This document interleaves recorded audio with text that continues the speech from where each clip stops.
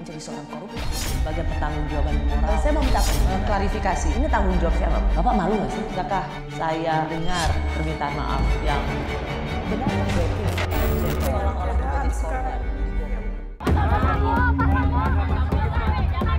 Delapan tahun dikurangi selama terdakwa menjalani tahanan sementara dengan perintah terdakwa tetap ditahan. Tidak ditemukan adanya alasan pembenar maupun alasan pemaaf yang dapat menghapus sifat melawan hukum serta kesalahan terdakwa Ferdi Sambo sehingga Menjatuhkan pidana terhadap terdakwa dengan pidana seumur hidup. Jaksa penuntut umum berpendapat tidak ada alasan yang meringankan perbuatan Ferdi Sambo menghilangkan nyawa Brigadir Yosua Huta Barat. Mantan Kadif Propam Polri itu juga dianggap telah mencoreng institusi Polri dengan melibatkan banyak anggota Polri dalam skenarionya. bahwa selama persi- dalam persidangan pada diri terdakwa Ferdi Sambo tidak ditemukan adanya alasan pembenar maupun alasan pemaaf yang dapat menghapus sifat melawan hukum serta kesalahan terdakwa Ferdi Sambo sehingga terdakwa Ferdi Sambo dapat dimintai pertanggungjawaban pidana. Sementara kepada Richard Eliezer, jaksa seakan mengabaikan kejujuran dan status justice collaborator yang disandang Eliezer dengan membacakan tuntutan hukuman penjara 4 tahun lebih tinggi ketimbang tuntutan hukuman penjara untuk Putri Chandrawati, Kuat Ma'ruf, dan Ricky Rizal. menjatuhkan pidana terhadap terdakwa Richard Eliezer Pudium Lumiu dengan pidana penjara selama 12 tahun dengan perintah agar terdakwa tetap ditahan dipotong masa penangkapan Petugas keamanan mohon kami bantuan untuk mengeluarkan para pendukung. Tolong dikeluarkan pada para mereka yang nggak bisa tenang. Sidang tuntutan Richard Eliezer sempat diwarnai kericuhan oleh pengunjung sidang yang tidak terima dengan tuntutan jaksa. Istri Sambo Putri Chandrawati dan dua mantan anak buahnya, Ricky Rizal dan Kuat Ma'ruf, dituntut hukuman penjara yang sama oleh jaksa penuntut umum. Memutuskan menjatuhkan pidana terhadap terdakwa Ricky Rizal Wibowo dengan pidana penjara selama 8 tahun. Memutuskan menjatuhkan pidana terhadap terdakwa Kuat Ma'ruf dengan pidana penjara selama 8 tahun. Menuntut menjatuhkan pidana terhadap terdakwa Putri Chandrawati dengan pidana penjara selama 8 tahun Tuntutan jaksa terhadap Sambo, Putri, Ricky, dan Kuat kontan saja dikecam keluarga almarhum Brigadir Yosua. Itu kan ada pilihan di pasal 340 diancam dengan hukuman pidana paling lama 20 tahun, penjara seumur hidup atau hukuman mati. Dalam hal ini Putri Chandrawati sudah ter- terbukti dalam fakta persidangan bahwa dia adalah salah satu aktor intelektual yang menghendaki dan mengingini hilangnya nyawa Joshua ataupun perampasan nyawa Joshua. Masa orang yang memiliki niat jahat membunuh secara berencana yang mana membunuh itu adalah hak absolut milik Tuhan hanya dihargai tuntutan 8 tahun.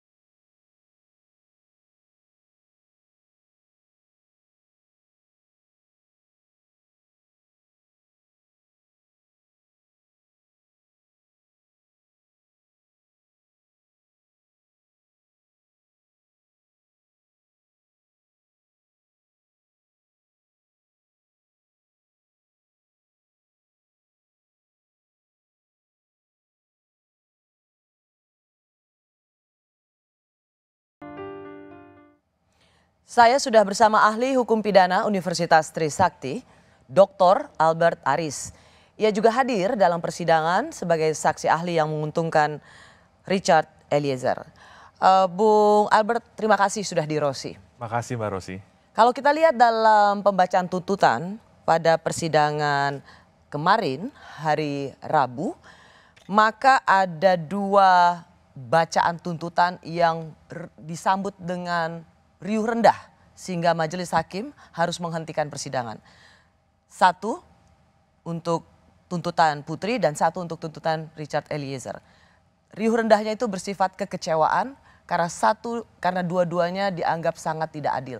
Apa yang Anda lihat dari reaksi pengunjung sidang pada saat waktu itu? Iya. Tanpa mengurangi penghormatan terhadap independensi dan kemerdekaan uh, penuntutan yang dimiliki oleh kejaksaan dalam hal ini kejaksaan negeri selatan ya. Maka kekecewaan publik ini perlu dilihat sebagai gambaran utuh bagaimana rasa keadilan masyarakat itu tercurah pada saat mendengar tuntutan atau rekuisitor dari jaksa penuntut umum. Jadi ini adalah gambaran paling jujur dari reaksi masyarakat untuk membedakan mana yang adil dan mana yang kurang adil. Kalau jaksa adalah penuntut yang mewakili keadilan bagi para pencari keadilan korban dalam hal ini dan juga masyarakat pada umumnya. Mengapa? Apa yang Anda lihat ini tidak ditemukan masyarakat pada pembacaan tuntutan kemarin? Iya, khususnya untuk uh, Eliezer ya. Karena Eliezer ini adalah seorang yang sudah jujur mengakui perbuatannya dan statusnya juga uh, merupakan justice collaborator yang bersedia untuk mengungkap uh, tindak pidana ini. Dan jangan lupa Mbak, Mbak Rosi, dalam konstruksi penyertaan patut diduga Richard Eliezer ini adalah orang yang disuruh melakukan. Hmm. Artinya dia melaksanakan tindak pidana tersebut karena disuruh dan mendapat perintah jabatan dari atasannya. Jadi salah satu yang menjadi perhatian publik adalah ketika tuntutan itu untuk Richard Eliezer terasa lebih berat dibandingkan untuk seorang Putri Chandrawati. Iya, karena konteks dari penyertaan itu adalah bunyi pasal 55 dipidana sebagai pelaku. Meski kita mengetahui ya ada bentuk-bentuk penyertaan, ada orang yang melakukan, ada orang yang menyuruh lakukan, ada orang yang turut melakukan dan ada orang yang menggerakkan untuk melakukan tindak pidana. Tapi konteks yang di, uh, ada dalam diri seorang Eliezer, dia adalah orang yang disuruh lakukan. Artinya dia hanyalah merupakan manus ministra yang tidak mempunyai kehendak, tidak mempunyai niat jahat untuk melakukan tindak pidana pembunuhan apalagi terhadap temannya sendiri. Oke, uh, Anda hadir di sidang untuk menguntungkan uh, terdakwa Richard Eliezer. Kalau kita lihat dalam persidangan kemarin, itu komentar publik yang tercermin dalam sosial media pada persidangan kemarin, pertanyaan-pertanyaan jaksa itu mendapat pujian yang luar biasa. Jaksa keren, pertanyaannya kritis, jaksa luar biasa, termasuk hakimnya juga. Uh, itu dapat or, publik tuh merasa melihat jaksa itu keren banget. Tetapi pembacaan tuntutan kemarin terutama membandingkan antara tuntutan untuk Putri dan tuntutan untuk Richard Eliezer itu sampai dikatakan rep, apa berakhir dengan tragis dan kecaman, makian luar biasa ditujukan pada Kejaksaan Agung. Uh, menurut apa apa yang paling paling prinsip yang mengusik rasa keadilan ya. dalam dua tuntutan ini? Ya karena terlihat ada disparitas ya, ada kejomplangan bagi seorang Richard Eliezer yang sudah tadi mengakui perbuatannya, sudah bersikap kooperatif, tapi ternyata dituntut dengan pidana 12 tahun penjara. Meski Mbak Rosi, hakim tidak terikat pada tuntutan jaksa hakim itu berpatokan pada dakwaan dan fakta-fakta yang terkait persidangan. Nah kalau kita lihat ada tiga terdakwa lain yang dituntut 8 tahun, maka publik secara sederhana dalam kacamata awam akan melihat adanya ketidakadilan. Terlepas adanya penjelasan-penjelasan secara hukum, penjelasan secara normatif yang sudah disampaikan oleh pihak kejaksaan. Hmm.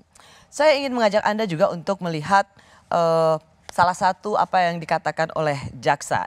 Uh, jaksa mengatakan ya eh, kenapa eh, jaksa menyebut PC terbukti mengetahui dan ikut merencanakan pembunuhan itu tetapi hanya kemudian 8 tahun. Coba kita lihat sama-sama apa kata jaksa dalam tuntutannya.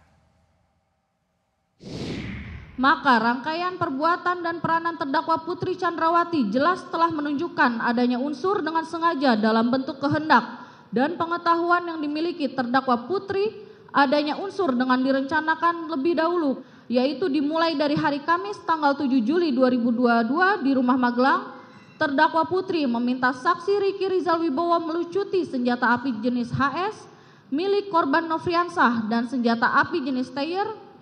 Selanjutnya pada hari Jumat tanggal 8 Juli 2022 sekira pukul 15.40 di Rumah Saguling, terdakwa Putri tetap tidak ada niat untuk mengembalikan senjata api dinas jenis HS dan senjata api jenis Steyr yang sudah diamankan dan dijauhkan selama satu hari dari korban Nofriansah oleh saksi Riki Rizal Wibowo. Sehingga peran fisik terdakwa Putri Chandrawati dengan sengaja tidak mengembalikan senjata api dinas jenis HS milik korban Nofriansah yang disimpan di dalam dashboard mobil Lexus LM nomor polisi B1MAH menjadi petunjuk kuat adanya kehendak dan rencana terdakwa Putri Chandrawati terhadap senjata api jenis HS akan digunakan dan sudah dipersiapkan untuk mendukung skenario tembak menembak di rumah dinas Duren 3 nomor 46 yang disusun oleh saudara Ferdi Sambo dan terdakwa Putri Chandrawati dan juga sebagai rencana untuk merampas nyawa korban Nofriansah Yosua Huta Barat. Putri Chandrawati hanya dituntut 8 tahun. Apakah Anda terkejut dengan tuntutan ini? Cukup terkejut. Kenapa?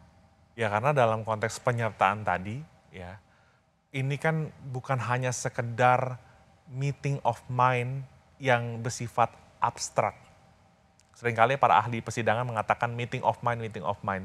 Tetapi perlu dilihat tadi bagaimana seluruh rangkaian dari awal peristiwa ini sampai terjadinya pembunuhan tersebut, yaitu kerjasama yang erat, dugaan ini ya, dugaan kerjasama erat di antara para pelaku untuk mewujudkan tindak pidana pembunuhan berencana tersebut. Tapi saya ingin juga mengat, me, me, mencoba ya me, memahami apa tidak belum tentu bersetuju apa yang menjadi pijakan uh, jaksa. Karena yang dikatakan oleh jaksa adalah Putri Chandra meskipun mengatakan secara sah dan meyakinkan ikut dalam perencanaan pembunuhan itu. Tetapi Putri itu sama dengan Kuat dan Ricky, ia tidak melakukan apa pun. Ia tidak ikut menembak atau mencabut nyawa Yosua. Iya, dalam penyertaan atau delneming hukum pidana, memang tidak semuanya para pelaku tindak pidana itu mewujudkan delik. Ada beberapa kemungkinan. Ada ada kemungkinan seluruh peserta itu mewujudkan delik. Ada kemungkinan yang kedua eh, hanya salah satu pelaku yang mewujudkan delik atau kemungkinan ketiga adalah tidak ada yang mewujudkan delik tetapi tindak pidana itu terjadi mm -hmm. karena kerjasama yang erat tadi. Nah, berarti kalau di sini Putri hanya 8 tahun, artinya jaksa sendiri merasa bahwa Putri meskipun dalam runtutan tuntutannya, rentetan tuntutannya mengatakan bahwa ikut mengetahui, merencanakan, ikut dengan uh, menyiapkan senjata atau menyimpan senjata, tapi jaksa tidak mampu menghadirkan fakta-fakta yang mendukung itu sehingga hanya 8 tahun. Benar ya. nggak ya. kayak gitu? Karena kemarin juga saya sempat mendengar ada uh, pakar yang mengatakan bisa bisa jadi pola pikir jaksa dalam mengajukan tuntutan terhadap PC itu berbasis gender di mana perempuan yang berhadapan dengan hukum itu mendapatkan uh, perlakuan yang berbeda ya. Tetapi saya tidak melihat pertimbangan itu uh, ketika jaksa penuntut umum membacakan rekusitor ya Mbak Rosi. Kenapa? Kenapa faktor gender perempuan yang dianggap lemah berhadapan dengan hukum atau dengan suaminya yang cukup dominan atau sangat dominan mengatur rumah tangga itu tidak bisa dianggap juga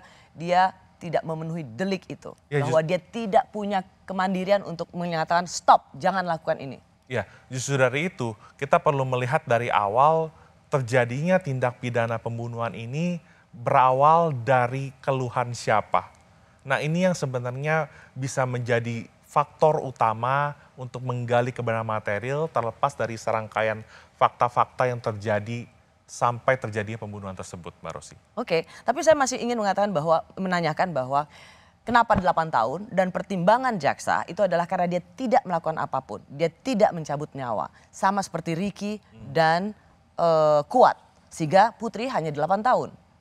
Bagaimana? Mengapa itu tidak bisa diterima? Ya, Berbeda dengan misalnya tadi uh, Eliezer yang ikut. Ya karena nyawa. bisa jadi ada anggapan bahwa eh, PC ini patut diduga merupakan aktor intelektual dari peristiwa pembunuhan ini gitu ya. Karena tanpa ada keluhan dari yang bersangkutan eh, dan dengan segala cerita yang ada tidak mungkin memantik seorang Ferdi Sambo untuk melakukan eh, atau memerintahkan penembakan tersebut kepada Yosua. Dari mana? Dari mana Anda bisa melihat bahwa ia bisa menjadi otak dari perencanaan pembunuhan ini? Segala sesuatu kan bisa terjadi tapi kalau saya nggak mau menyimpulkan terlalu jauh, tapi saya mengambil kesimpulan yang e, disampaikan oleh jaksa penuntut umum terakhir dalam tuntutannya bahwa ada dugaan-dugaan yang terjadi antara PC dengan Yosua. Tetapi itu sekali lagi adalah kesimpulan daripada jaksa gitu loh. Hmm. Nah, tapi dengan menyamaratakan tuntutan antara PC, RR dan KM, maka masyarakat secara awam sekali lagi saya sampaikan melihat ada rasa yang ketidakadilan dalam penuntutan ini. Dan jangan lupa kita perlu melihat juga bahwa tanpa menjadikan pengadilan ini sebagai trial by the mass atau pengadilan massa, tetapi memang hakim jaksa itu memang wajib menggali nilai-nilai dan rasa keadilan di masyarakat itu Mbak Rosi. Hmm. Oleh pengacara Sambo, almarhum Joshua dikatakan melakukan kekerasan seksual bahkan perkosaan uh, pelecehan seksual dan perkosaan. Tapi kemudian oleh jaksa disebut juga ada perselingkuhan. Sebuah label yang sangat menyakitkan bagi orang yang sudah meninggal karena dibunuh. Kalaupun jaksa mengatakan tidak ada perkosaan, menghilangkan unsur, uh, peristiwa itu dan kemudian memasuk dalam perkosaan yang mana kita juga tahu ini tentu sangat tidak menyenangkan, tidak ini menimbulkan juga kesedihan bagi keluarga. Tapi menurut Anda sebenarnya apa sih yang ingin dikatakan oleh jaksa soal perselingkuhan itu? Iya, kalau soal adanya perselingkuhan itu kan sebenarnya menjadi suatu motif ya. Artinya ada atau tidak adanya peristiwa tersebut tidak mengurangi esensi pembuktian dari tindak dari suatu tindak pidana pembunuhan berencana. Tetapi paling tidak itulah uh, fakta yang paling mendekati kebenaran material yang disimpulkan oleh jaksa penuntut umum Mbak Rosi. Hmm. Tapi itu tercermin nggak dengan hukuman tuntutannya?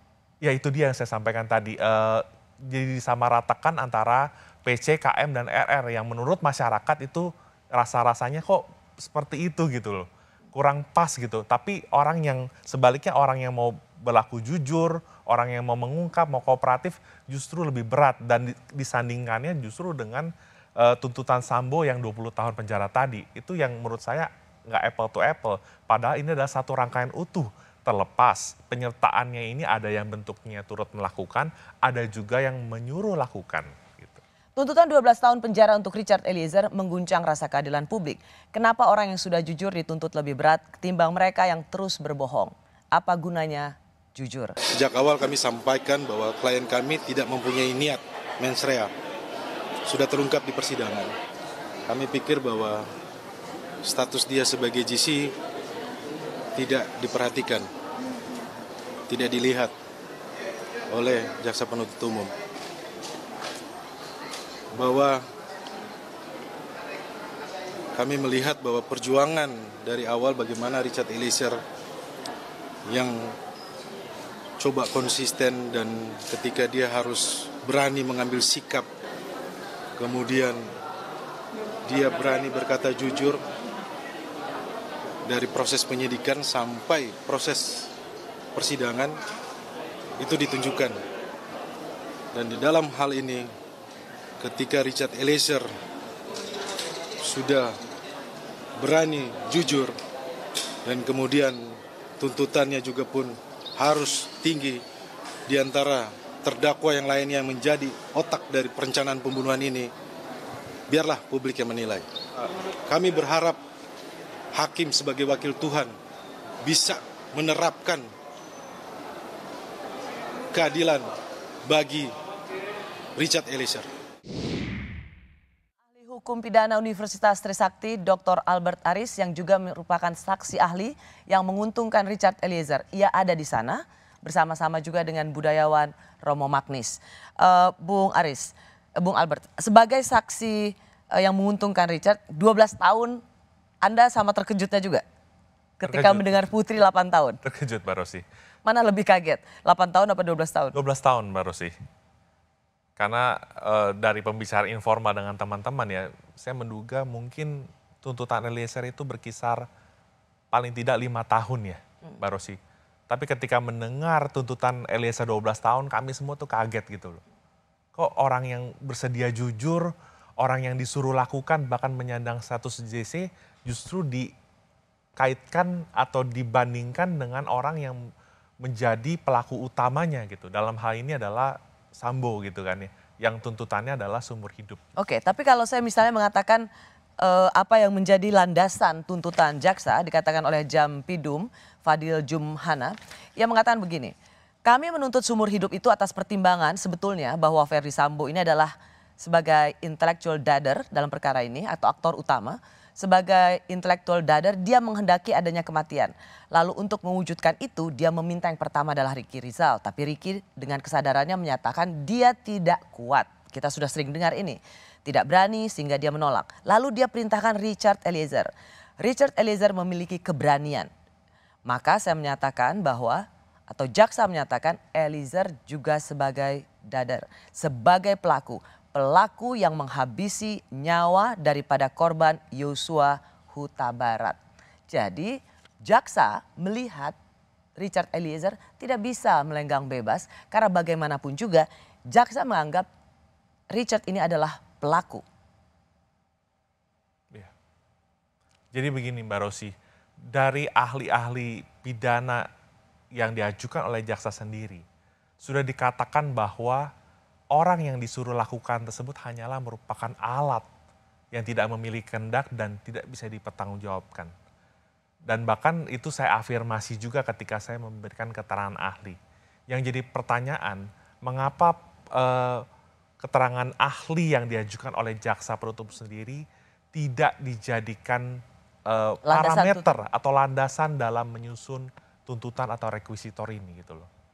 Kalau pola pikirnya masih seperti ini, maka orang-orang yang bersedia untuk mengungkap suatu perkara, orang-orang yang sudah jujur mengakui mengakui perbuatannya, maka akan mengurungkan niatnya. Ini akan menjadi suatu presiden buruk di waktu yang akan datang, Mbak Rosi. Tadi ada mengatakan dalam banyak pembicaraan, dalam banyak diskusi, dalam banyak eh, apa tebakan soal berapa yang diterima akan diterima tuntutan diterima oleh Richard Eliezer, Anda mengatakan lima tahun. Artinya di bawah Ricky Rizal dan Kuat. Bagaimana argumentasi itu bisa eh, masuk akal ketika yang dua ini 8 tahun dia tidak membunuh. Sementara eh, Richard Eliezer dia ikut serta dalam menghabisi nyawa.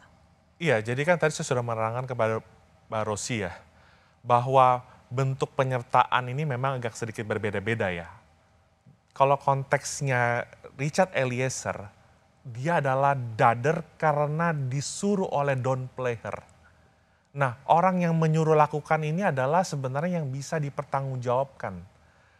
Tetapi dader yang disuruh oleh Don Player ini hanya merupakan alat, Mbak Rosi. Jadi sebenarnya dia nggak punya kehendak, dia nggak punya kesalahan. Seluruh literatur yang hukum pidana yang saya miliki kebanyakan mengatakan demikian, Mbak Rosi. Kalau Ricky bisa menolak, kenapa eh, Richard tidak bisa menolak? Karena dalam tuntutan jaksa juga disebutkan melukiskan bagaimana ada yang disuruh tapi bisa menolak, yang satu me- eh, disuruh dan melakukannya.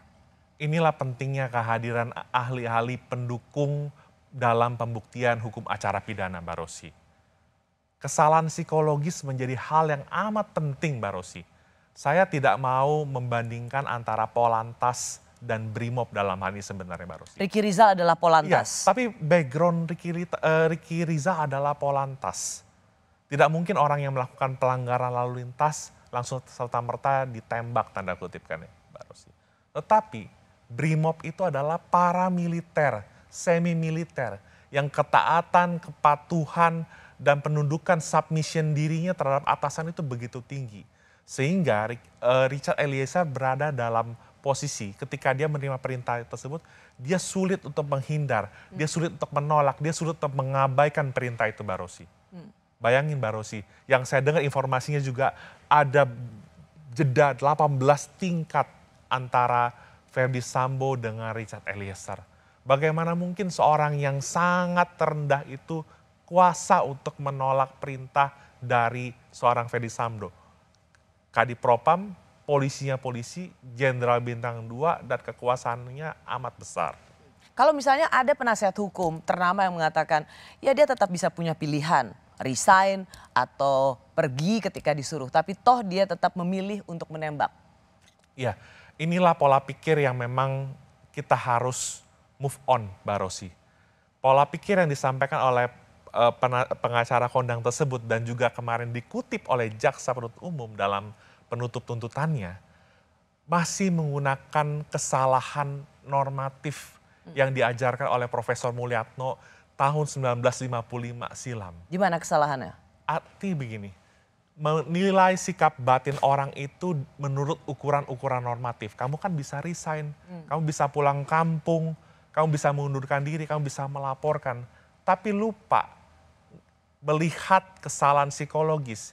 Ya makanya dihadirkan kan ahli psikologi forensik, uh, psikologi dari uh, ilmuwan dan sebagainya, filsafat ilmu itu sebenarnya untuk menguji apakah betul ada niat jahat dari seorang penerima perintah ini sehingga dia tidak bisa kuasa menolak perintah tersebut, Barosi. Ya. Nah, makanya dengan adanya KUHP baru saat ini, Barosi, keseimbangan antara kesalahan normatif dan kesalahan psikologis itu menjadi penting, Barosi. Ya, karena ketika dia diperintahkan oleh atasannya, maka dia tidak bisa dipidana sama sekali Betul. dalam uh, eh, KUHP yang baru. Maka dari itu Mbak Rosi, Mahkamah Agung tahun 2007 menjelaskan dalam perkara pelanggaran HAM berat ya, dalam dalam konteks tanggung jawab atasan, ketika ada hubungan secara de facto dan de jure, pengendalian efektif, rantai kepemimpinan yang begitu kuat, maka di situlah ada otoritas yang memungkinkan adanya tanggung jawab atasan terhadap bawahannya. Dan ketika bawahan itu e, menjalankan tugasnya, maka dia tidak bisa sebagai alat yang dipidana. Iya. Nah, tapi begini Bung Albert, izinkan saya untuk terus uh, mempertanyakan apa yang menjadi uh, tuntutan jaksa. Misalnya dikatakan bahwa uh, toh pada saat menembak itu ia juga tidak berada dalam situasi yang diintimidasi. Misalnya, misalnya dalam situasi saya bertanya pada jaksa, mengapa seorang uh, Richard Eliezer 12 tahun uh, dia bilang karena pada saat ditembak itu ia bisa lebih ringan atau dibebaskan. Kalau pada saat dia disuruh melakukan tembakan itu ia sendiri dalam ancaman. Misalnya kalau kamu nggak tembak dia maka saya akan menembak kamu. Nah Richard tidak berada dalam situasi psikologi seperti ini atau ancaman yang mematikan seperti ini. Inilah sebenarnya bedanya pasal 48 tentang daya paksa dan pasal 51 tentang perintah jabatan Barosi dua-duanya sebenarnya dalam keadaan terpaksa Mbak Rosi. Kalau 48 itu atas satu kekuatan yang nggak bisa ditahan. Tapi dalam konteks pasal 51 tentang perintah jabatan Amtelk Bevel, pakar hukum pidana Belanda Van Bemelen mengatakan, ketika seorang menerima perintah jabatan, sesungguhnya itu dia berada dalam keadaan terpaksa karena diperhadapkan pada konflik. Di satu sisi nggak boleh membunuh, nggak boleh merusak barang milik orang lain, nggak boleh mengambil milik orang lain, tapi di satu sisi dia harus patuh dan taat terhadap perintah jabatan yang diberikan oleh atasannya tersebut. Atasannya yang bukan yang ber, bukan saja berwenang ya, tapi memiliki otoritas langsung terhadap dia, hmm. gitu. Dan Jadi, menentukan hidup mati karir.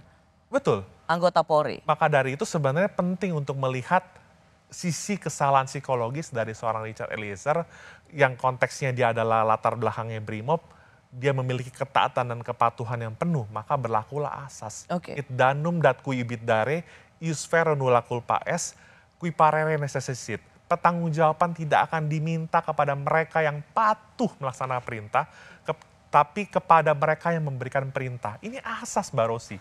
Asas. Jadi kalau ada keraguan-raguan dalam membaca pasal 51, kita semua di Fakultas Hukum sudah diajarkan sejak awal kembali kepada asas. Anda berulang kali membandingkan Polantas dan Brimob. Ricky Rizal adalah Polantas, uh, Eliezer adalah Brimob. Ricky Rizal dijadikan contoh bahwa Ricky Rizal bisa menolak, sementara Eliezer tidak bisa menolak.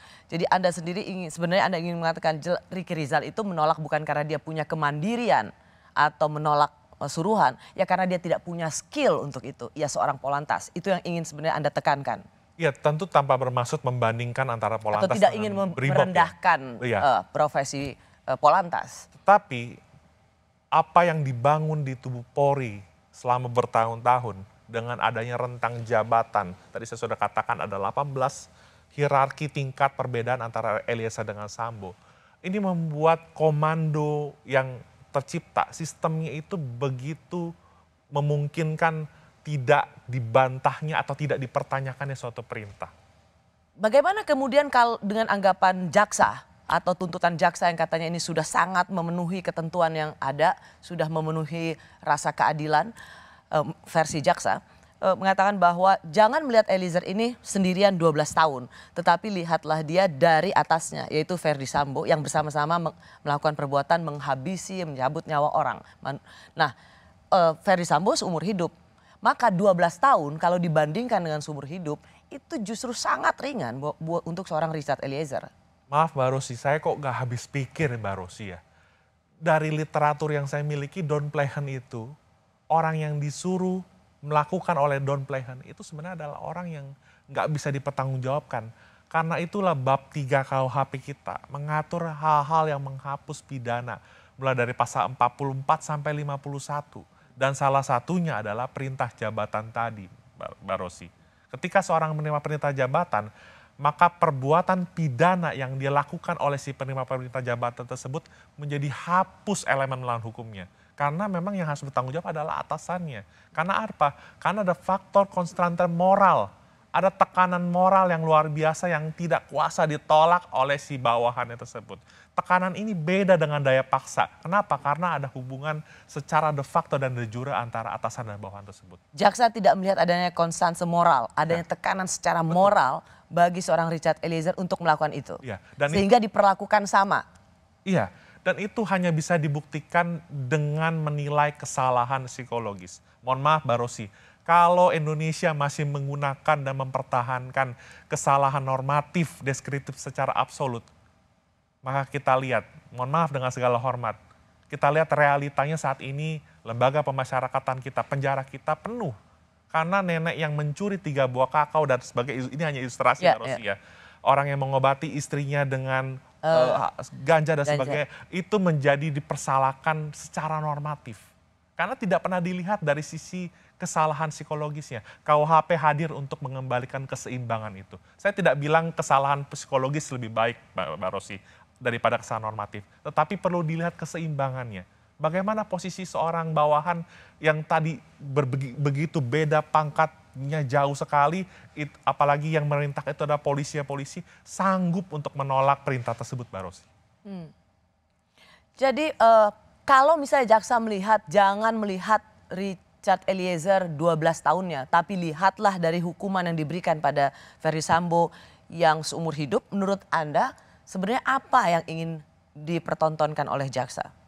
ya saya tidak mau menduga, tidak mau seuzon, tetapi seolah-olah penuntut umum hendak mengkotakkan bahwa penuntutan terhadap pihak-pihak dalam perkara ini seolah dipisahkan.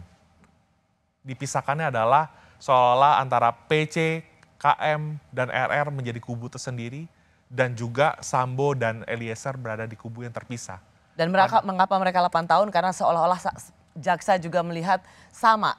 Mereka ada di situ tapi tidak melakukan apa pun. Dia Padahal, tidak ikut serta dalam menghabisi nyawa seseorang. Padahal Barosi, penyertaan itu adalah participation of crime. Kerjasama untuk mewujudkan suatu delik.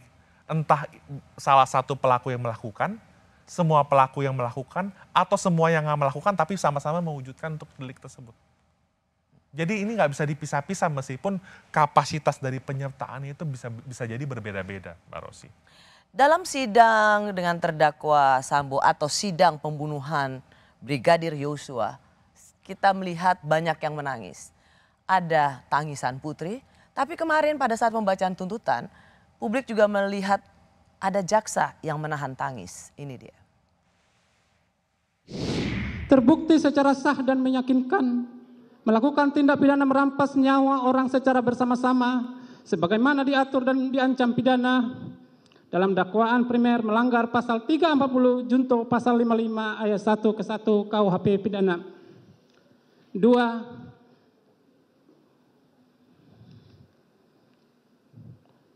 menjatuhkan pidana terhadap terdakwa Richard Eliezer Pudium Lumiu dengan pidana penjara selama 12 tahun dengan perintah agar terdakwa tetap ditahan dipotong masa penangkapan. Kepada para pengunjung mohon untuk tenang. Kalau Anda lihat tadi, banyak yang mengomentari kenapa jaksa seperti menantangis dan jaksa di sebelahnya juga ikut me, seperti memberikan apa tepukan di belakang punggungnya. Apa yang Anda lihat? Ya ini ke, pertama-tama kejaksaan itu satu atap ya.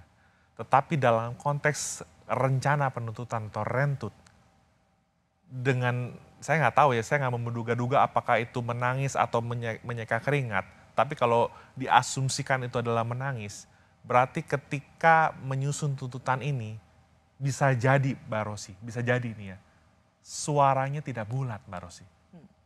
Meskipun tadi saya sampai harus katakan bahwa kejaksaan itu satu atap ya, dalam konteks penuntutan dan independen serta merdeka dalam memastikan adanya penuntutan yang adil dan objektif. Karena kita melihat ada tepukan di punggung pada jaksa yang membaca tadi. Seolah-olah memberikan apa tenang, sabar, yang kuat. Itu non-verbal communication ya. Jadi Anda bilang bisa jadi sebenarnya tidak bulat. Ya, tidak bulat Jadi ada relasi tim. kuasa juga dalam menentukan rencana tuntutan. Jaksa-jaksa di bawah atau itu punya uh, tuntutan yang lain tetapi kuasa di atasnya menentukan yang berbeda. Itukah yang ingin Anda katakan? Begini Mbak Rosi, kami sebagai praktisi hukum itu kan melihat segala sesuatu berdasarkan alat bukti Mbak Rosi. Tetapi jangan lupa, ketika menegakkan hukum, meski dalam posisi yang berbeda sekalipun, ada hati nurani Mbak Rosi. Ada hati nurani Mbak Rosi.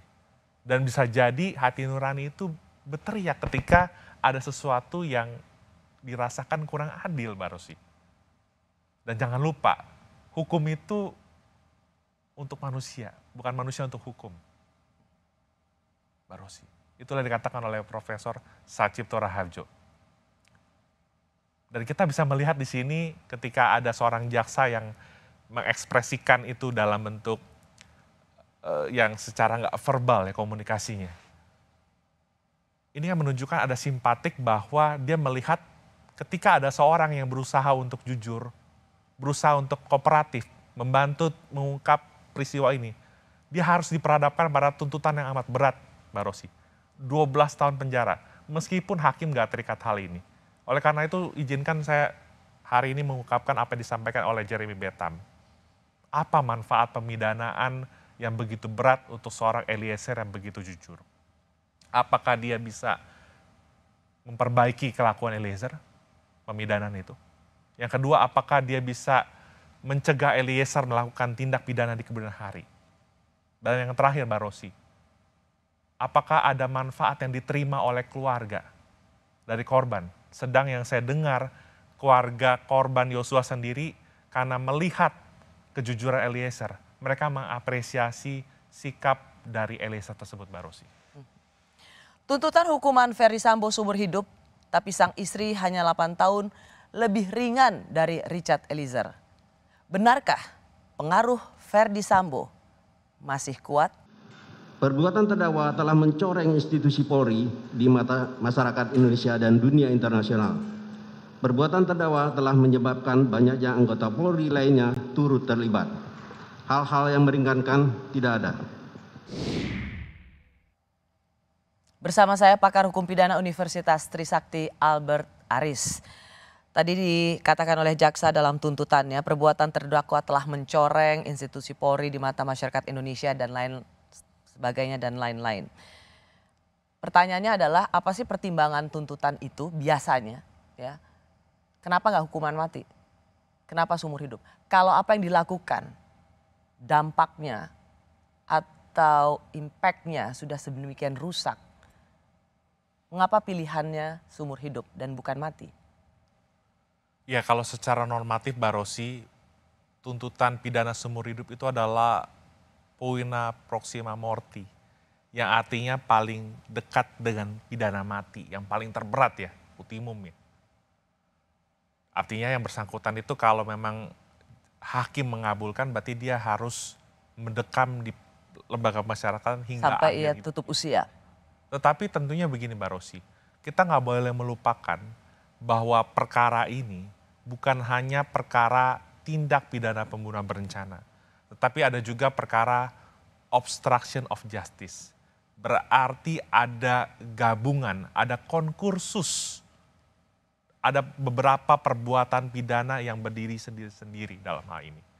Saya tentu tidak mau mencampuri independensi uh, penuntut umum dalam hal ini, terlepas dari perdebatan uh, yang pro pidana mati dan kontra pidana mati. Hmm. Tetapi paling tidak itu adalah yang paling maksimal, hmm. ya.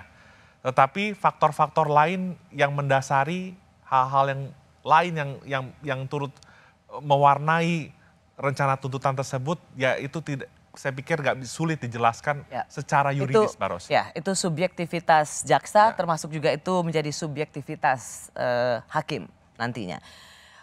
Uh, tadi saya ingin uh, mempertanyakan pada anda, tuntutan ini ya menjadi seolah ada banyak yang menganalisa ini mencerminkan bagaimana pengaruh Ferry Sambo sesungguhnya masih kuat karena apa yang dikatakan oleh Ferry Sambo dalam persidangan, satu dia akan bertanggung jawab, dua istrinya jangan dilibatkan, dia begitu kecewa ketika istrinya oleh uh, tim sus itu ditersangkakan padahal dia sudah bersedia untuk mengatakan yang sejujurnya. Tapi uh, ada yang dikatakan oleh Ferry Sambo bahwa ia juga tidak mau tanggung jawab sendirian. Ini katanya. Kalaulah saksi menyampaikan bahwa saya minta menghajar kemudian saksi melakukan atau menerjemahkan itu perintah penembakan dari saya.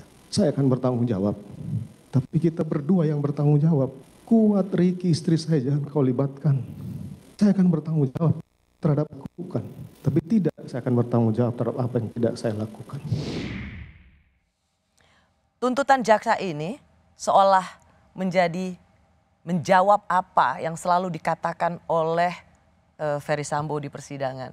Dia akan bertanggung jawab, tapi yang tanggung jawab berdua loh ya. Hmm. Dirinya dan Richard Eliezer. Tiga orang yang dikatakan tidak ikut bisa dibilang hukuman yang paling ringan. Apakah menurut Anda memang pengaruh Sambo masih sangat kuat dan tercermin dalam tuntutan ini? Kalau dilihat dari statement dia ketika menanggapi keterangan saksi atau ahli tadi ya, itu dilihat bahwa Sambo ingin memisahkan perkara ini dari KM, Riki, dan PC. Kalau pertanyaannya adalah apakah masih punya pengaruh yang kuat, jelas dia secara... Bentar, Sambo ingin memisahkan perkara ini biar dia dan Riki, ya. maka yang tiga lagi sendiri. Betul. Dan itu tercermin dong di tuntutan. Anda sendiri kan mengatakan tadi di awal perbincangan kita, ya bahwa jaksa dengan uh, terlihat dari tuntutannya memisahkan itu. Yeah. Berarti ini menjawab harapan Sambo. Tuntutan ini mencerminkan apa yang menjadi keinginan Verdi Sambo. Ya, artinya begini. Kalaupun itu sesuai dengan harapan atau keinginan yang bersangkutan, hakim tetap memiliki diskresi untuk tidak terikat pada tuntutan. Saya termasuk patokannya, betul. Tapi patokannya izinkan saya memotong ini uh, ya. Bung Albert. Saya termasuk yang tidak setuju kalau apa-apa itu diserahkan pada hakim. Awalnya sendiri sebenarnya sudah harus memenuhi rasa keadilan dan sesuai dengan eh, fakta-fakta persidangan. Uh, jangan semua itu diserahkan pada hakim dan kemudian lempar tanggung jawab pada hakim. Kalau ya jangan menjadi tidak bertanggung jawab dan kemudian pertanggungjawabkan itu diserahkan pada hakim kan dia yang ini padahal mereka sendiri tidak dengan benar-benar menjalankan azas-azas dan e, memenuhi rasa keadilan itu. Nah, yang saya ingin tanyakan sekali lagi, Anda sendiri tadi yang mengatakan jaksa memisahkan di awal perbincangan kita Sambo dan Eliezer dan kemudian tiga lagi. Dan itu sebenar dan tadi Anda bilang Ferry Sambo juga mengatakan itu Artinya tuntutan jaksa ini seperti apa yang diinginkan oleh seorang Ferry Sambo? Ya atau tidak? Ya secara tidak langsung kalau dalam konstruksi penyertaan, bentuk-bentuk penyertaan seolah-olah demikian tergambarnya seperti itu. Meskipun penyertaan itu harus dipandang sebagai suatu kesatuan untuk mewujudkan tindak pidana. Ya itu itu argumentasi Anda. Ya. Karena pertanyaan saya begini, jadi benar ya? Benarkah menurut Anda pengaruh Sambo seolah-olah seperti kuat? itu Mbak Rosi, seolah-olah. Karena tadi kalau pertanyaannya adalah apakah masih memiliki kekuasaan, ya kita nggak bisa memungkiri seorang kadif propam itu memiliki jabatan kewenangan kekuasaan yang begitu luar biasa. Polisinya polisi. Artinya selama menjabat sebagai kadif propam, tentu Pak Ferdus Sambo juga memiliki banyak sekali pengetahuan dan juga pengalaman yang mengenai kasus-kasus yang sudah terjadi selama ini yang mungkin saja uh, memiliki keterkaitan dengan oknum penyidik yang pernah dilaporkan ke propam tersebut. Kecewa dengan tuntutan jaksa, Ibunda almarhum Yosua meminta hakim memberikan keadilan bagi Yosua. Begitu sangat menyakitkan kami. Tadi tadi kami membuat hati saya sebagai nanti. Persiapan yang matang yang dilakukan putri mulai dari Magelang semua saksi-saksi yang ada di situ tidak ada mengetahui dan melihat semuanya. Tapi semua tuntutan yang diberikan terpakai dengan buat ma'aruf. Jadi betul-betul tidak adil buat kami, orang tua rakyat yang kecil ini, di tuntutan ini. Mohon Bapak Hakim, tolong kami, berikan kami keadilan. Berikan keputusan semaksimal mungkin buat putri yang mengetahui semua perencanaan pembunuhan ini. Harapan kami Pak Hakim yang mulia utusan Tuhan. Tolong kami diberi keadilan yang seadil-adilnya Bapak. Secara tidak langsung kami perempuan bisa membuat kesaksian-kesaksian dusta seperti Putri Chandrawati. Di mana nanti ada perempuan yang merasa ada ancaman. Boleh mereka berkata-kata, fitnahan apa pun di dalam adanya persidangan ini. Hukuman yang semaksimal mungkin buat si putri. Harapan kami hukuman yang semaksimal mungkin karena dia tidak manusiawi dan dia tidak memiliki hati nurani yang memiliki anak. Dia hanya dia sendiri yang punya perasaan tanpa memikirkan perasaan saya sebagai ibunya almarhum Yasua yang begitu mereka rampas nyawanya secara sadis dan biadab. Masih bersama saya Dr. Albert Aris yang merupakan ahli hukum pidana Universitas Trisakti.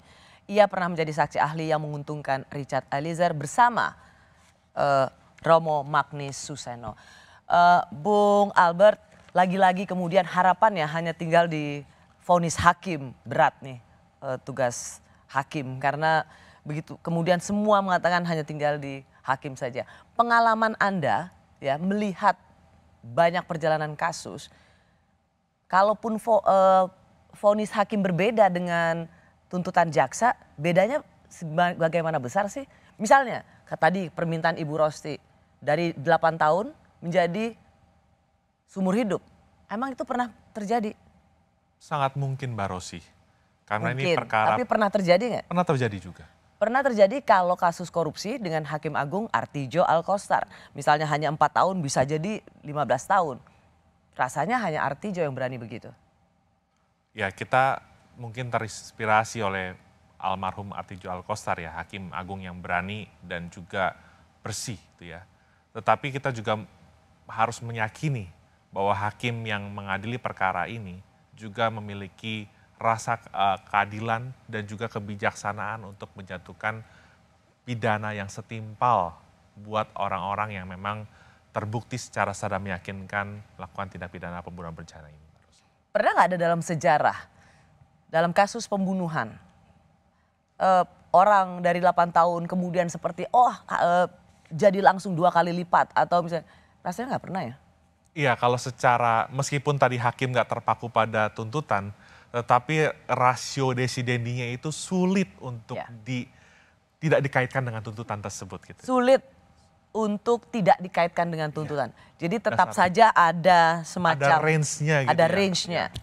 Jadi kalau misalnya jangan kita sering sekali kemudian kita mengharapkan sesuatu harus bisa dilakukan oleh uh, hakim gitu. Tapi pada kenyataannya tetap saja harus berada dalam range-nya. Jadi kalau 8 tahun misalnya, range sebesar apa sih untuk diberatkan biasanya? Ya artinya begini, kalau kita bicara ekstrim Mbak Rosi, nggak mungkin dari 8 tahun menjadi pidana mati itu rasanya nggak mungkin. Ya, ya pastilah. Tapi kalau misalkan dalam range menjadi sekian tahun di atasnya, itu masih sangat mungkin, masih sangat possible untuk terjadi Mbak Rosi. Berapa range biasanya? 2 per 3 biasanya? Ya kalau berkaitan dengan pasal 340 itu kan maksimal 20 tahun. Berarti kalau dikurangi sepertiganya aja dari 20 tahun, paling sekitar berapa 20 tahun, kurang lebih ya di bawah 15 tahun mungkin atau apa itu masih sangat mungkin terjadi Mbak Rosi. Hmm. Dan kalaupun uh, Richard Eliezer mendapat keringanan, saksi yang uh, Anda untungkan gitu, seberapa bisanya? Tidak mungkin seperti yang waktu itu banyak orang mengatakan empat, dua atau bebas, tidak mungkin rasanya ya. Dari literatur yang saya miliki, Mbak Rosi, kalau kita mau kembali pada hakikat perintah jabatan Amtel Bevel. Rumusan pasal 51 itu jelas sekali Mbak Rosi. Need strafbar, tidak dipidana. Artinya sebenarnya meskipun semua unsur-unsur terbukti, idealnya bagi seorang Richard Eliezer kalau dia memang dapat dibuktikan secara psikologis tidak mampu untuk menolak perintah tersebut, dia harus lepas dari segala tuntutan hukum. Onslavan ala. Hmm. Harusnya idealnya gitu. Tapi sekali lagi ini tidak mau mendahului hakim. rasanya memang e, kalau dari hukuman dalam jangka waktu tertentu dan bebas itu biasa terjadi. Itu sesuatu yang e, bisa per, e, sangat mungkin sangat mungkin terjadi. E, tapi begini pertanyaan saya, e, apakah anda juga melihat em, apa ya emosi publik, rasa yang terusik di publik, keadilan yang rasa terganggu di publik itu adalah melihat dua perbandingan tuntutan ini Putri Chandrawati 8 tahun dan Richard Eliezer 12 tahun. Jadi membandingkan ini yang rasanya membuat keadilan itu terusik. terusik. Ya. Wajar saja ya ketika publik menunjukkan reaksi sedemikian rupa. Karena tadi saya sudah sampaikan adalah Fox Populi Fox Day kan. Suara rakyat adalah suara Tuhan Mbak Rosi. Ketika netizen itu memberikan suara, sekalipun mungkin ini bukan trial by the mass, pengadilan itu harus independen, gak boleh terpengaruh suara publik. Tapi paling tidak ini adalah suara paling jujur yang harus dilihat. Oleh karena itu, tanpa mendahului putusan hakim nanti, kita semua berharap Mbak Rosi, bahwa hakim akan bijak dan juga objektif dalam menjatuhkan pemidanan yang adil nanti buat setiap terdakwa yang ada dalam perkara ini. Sebuah tugas yang sangat berat bagi uh, majelis hakim mengadili satu uh, kasus yang menyita perhatian luar biasa. Terima kasih uh, Dr. Albert Aris Welcome. sudah bersama Rosi di Kompas TV. Saya Rosia Nasilalahi, terima kasih sudah menyaksikan Rosi. Kita akan ketemu lagi Kamis depan. Tetaplah di Kompas TV, independen, terpercaya.